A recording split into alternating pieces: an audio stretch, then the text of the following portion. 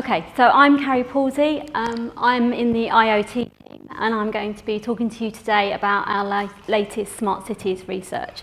I'm going to be taking you through um, exactly what is a smart city because everybody has a different definition. I'll be talking through the drivers and the barriers um, and then uh, identifying the market opportunity and telling you, particularly as uh, communication service providers or other suppliers in, in, in the ecosystem, how you can make money from it because it's not an easy opportunity. Then, given the theme today, we're going to talk a little bit about AI and what's happening in the smart city and using AI today. And then we'll be finishing off with some recommendations. So as we go through the presentation, I'd like you to think about these five key messages. Um, there definitely is an opportunity in smart cities and it's really growing at a pace, as you'll see in the slides. And the encouraging thing is, is that we're in a position where many cities are now demanding to have a smart city strategy. There's no longer um, a, a problem going in and talking about a smart city strategy, and, and, and that's a real change in the last two years that we've seen. The technology developments have definitely supported the business case. The fact that we have LP WAN and modules are reducing in price is um, identifying and enabling brand new IoT use cases. However, as a supplier, when you go out there and talk to the cities, please do not lead your discussions on technology. Cities do not want to talk about technology. What they want you to do is to help them identify what their objectives are and then find the right solution for it. There are significant barriers to success, as I've mentioned, and not everyone will succeed. This is a highly fragmented market. You're coming up against competition for, uh, uh, against players in adjacent industries that you've never come up against before. And as I mentioned before, it's not an easy sale. So we do have AI already being used in the smart city, and we see that as being even more important in the future. And then for success, we really think that you suppliers out there need to be creative about your business models. The connectivity element is a very small part of smart cities, and you need to work with the cities to both be creative around your business models, but also their business models as well. So what is a smart city and what are the drivers? So within Ovum, we have identified seven key applications for the smart city. Um, they're on there, you can see them, um, and we'll be talking through some of those a little bit later. So on the demand side, there's lots of demands coming from cities to make them ready um, for, um, uh, to, for, to, for their smart city strategy. I'd like to highlight two of them. So the economic drivers are very much forefront for cities. They are looking to reduce costs. They've got ever decreasing budgets. And as well, the flip side of that, they're also thinking about possible increase in revenues. That might come from regeneration, from tourism, um, and also possibly about the monetisation of the data itself. They're also looking to provide citizen-centric services. And what that actually means is they want to engage the citizens, they want to improve their quality of life, but more importantly, they want to be able to have those measurable KPIs to demonstrate that they're improving that quality of life. And that's what a smart city does for you. And obviously they want to improve the customer uh, experience. So on the demand side, what are we seeing that's driving demand? So definitely the declining cost, that's probably the number one uh, driver from the supply side. The fact that we are unable to uh, enable so many more IoT use cases. So probably two years ago, there was probably 15 or 20 smart city use cases. Now we're talking more than 50, maybe even 100. It's phenomenal, the, the use cases that are growing. The technology developments as well are very, very important in smart cities. So LP WAN, low power wide area network. So licensed, unlicensed uh, technologies um, like Sigfox and LoRa for the unlicensed and NB-IoT and LTE-M for licensed. And the dramatic impact that they're having on the battery life is what's changing uh, the opportunity for smart cities. So you can now get a device and take it out and put it out in the field or, or put it down in a basement where you couldn't get cellular coverage before. And you can just put it there and leave it there for anything up to five to 10 years. This was not possible on traditional cellular. So looking a little more at low power wide area networks and the fact that they are enabling these new um, use cases. So the box there, as you can see, we've got um, some of the module prices and the fact that the, how they've dramatically fallen in uh, recent times. So you've got Sigfox, Sigfox there, you know, around one to two uh, dollars, going all the way up to LTE-M um, around seven to ten dollars. But I want to talk a little bit about the use cases and their enabling. And unfortunately, I don't have time to go through all of these that are on here, but I wanted to talk about one. So the poor gentleman there in the uh, top right-hand corner who's down in a sewer in India. So his job is uh, generally to go down there and try and unblock them. Um, what normally happens is that the floods come or, or there's rain and they get uh, flooded and this makes up um, around 60 to 7% of citizens' complaints in a, in a, um, in a city called Jamshedpur in India. And what they've done is they have put sensors, so we're talking about $5 LoRaWAN sensors down in the sewers. And what it does is it monitors the sewer levels and uh, using that together with the uh, information they're collecting from the weather sensors and also the predicted rainfalls, they can do some analysis around uh, predictive maintenance of those sewers and stop those sewers from flooding before they do. And that is making a dramatic impact on those citizens' lives. I mean, phenomenal impact. And you're talking about a $5 module here. So it sounds great. We've got loads of drivers on the supply side. We've got loads of drivers on the uh, demand side. So, you know, let's all go and make some money out of it. Unfortunately, it's not as easy as that. You know, the slide here talks about the multiple barriers. So the fact that you are largely dealing with public sector means that the procurement cycles are phenomenally long. Um, and also you have to deal with the politics of dealing with those customers as well. So often they're elected bodies, they're there for a certain period of time, they are making policies, you may be going in to negotiate towards the end of an elected period, suddenly all, all the terms and all bets are off and the policies have changed. So the bureaucracy of that is very, very difficult. The other big issue is the silos. So uh, it was interesting, Chema was talking about the silos in Telefonica this morning. Well, the government, you know, government bodies that you have to deal with are exactly like that. So you'll find that you have to go to highways, you have to go to other departments, and trying to find those pots of money can be both time consuming and difficult. And what it actually means is that most deployments happen in a patchwork effect. So one department will roll out one particular smart city solution, and then another one will do, and they're not actually talking to each other, and they're using a completely different set of vendors. The other issues are around the long-term viability beyond the pilots, the privacy and safety concerns of those, uh, those uh, citizens themselves, and that fragmentation that I talked about earlier. So what do Ovum think is the market opportunity for smart cities? So these forecasts are very, very new. In fact, you guys are the first people to see them. I think we finished them uh, last week, so they are very, very new. And um, what, we, what we forecast is that there's going to be 600 million IoT connected devices in the smart city by 2022. Now that's quite a significant growth rate if you look. You've got a CAGR there of 27% and you've got an absolute growth of 157%. This is fast moving. What's interesting is the significance of China. So we estimate around 60% of these connections will be in China. Here are two graphs that come from two data trackers that we do within Ovum. The first is our um, IoT service provider contract tracker. What that does is it tracks publicly available um, con IoT contracts announced by service providers, and then we tag them into Ovum's nine verticals. As you can see, the Smart Cities one has really taken off from 2015, and the, the CSPs are winning lots of contracts in the Smart Cities. And then on the other side, um, we have the Smart Cities um, IoT project tracker, And in this, we log all um, smart city contracts that we see and announcements. And then next to that, we uh, put in which are the service applications that have been deployed. And as you can see, smart lighting is the most deployed um, application. That's generally given because it's got a very clear return on investment once you move to LED. Um, the energy savings there, and then it's a relatively small additional cost to add a sensor in there. Smart parking as well has a, a clear business case behind it, generally because the people parking are generating the revenues. So, how can the service providers make money from smart cities?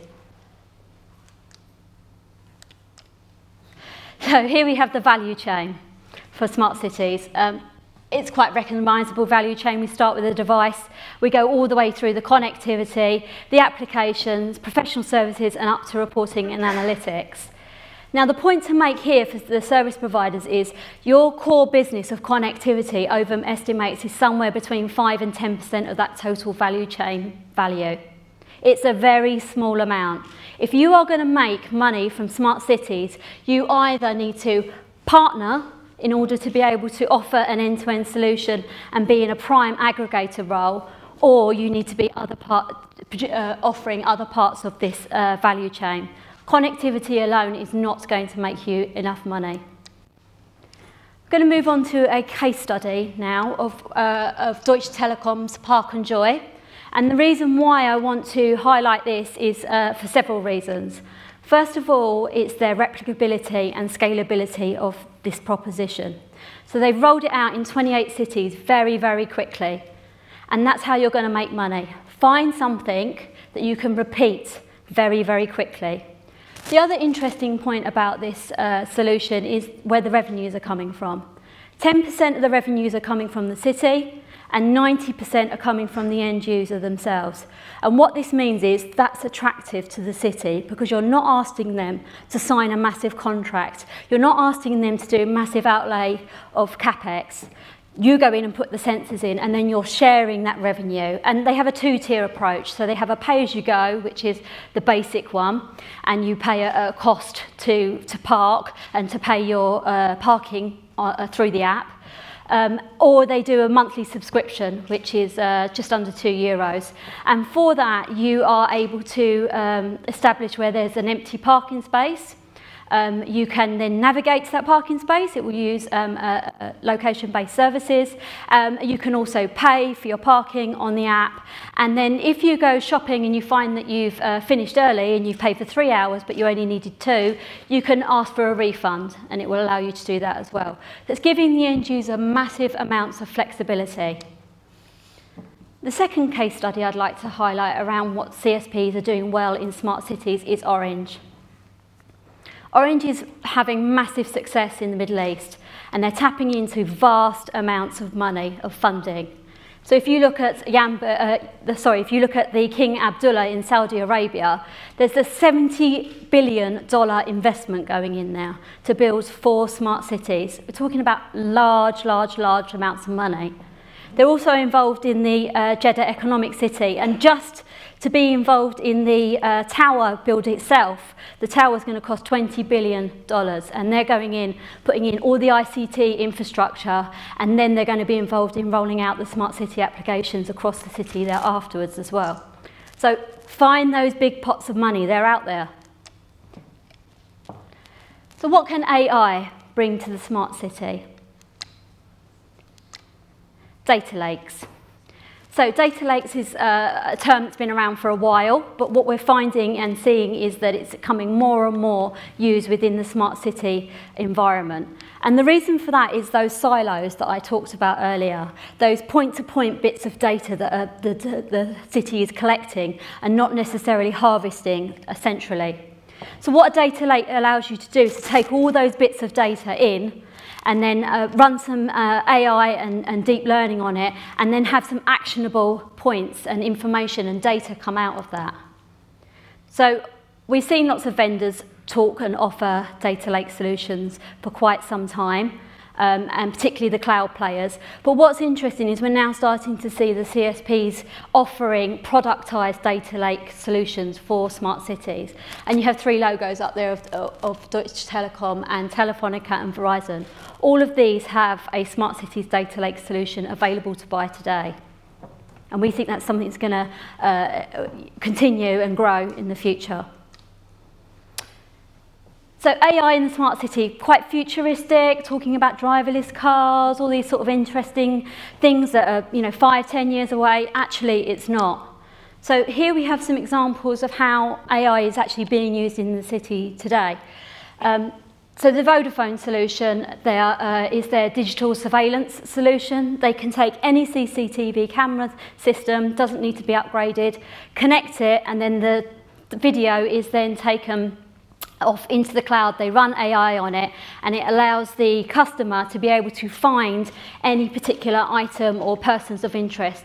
So say, for instance, you have a missing person, you know that they had a red backpack, you would be able to um, uh, scan all of those CCTV cameras and, and, and find that person very quickly, and that has a dramatic impact on you know, all that scanning of CCTV video, which takes so long. Also have data, uh, digital facial digital facial recognition as well. But I wanted to talk a little bit about predictive policing. So Predpol are a company that have been doing it for a long time. Um, Santa Cruz there in California actually began their first trial of predictive policing back in 2011. So we're talking seven years they've been doing this for.